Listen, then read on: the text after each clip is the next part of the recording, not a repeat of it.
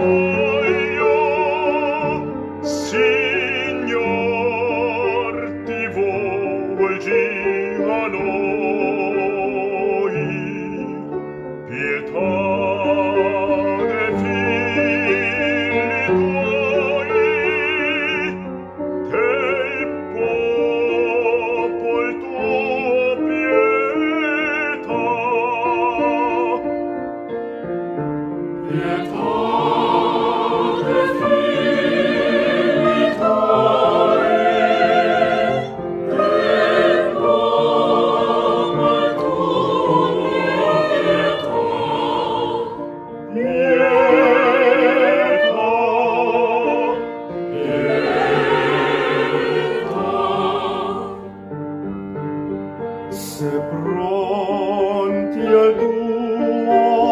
Sene, sonene, venti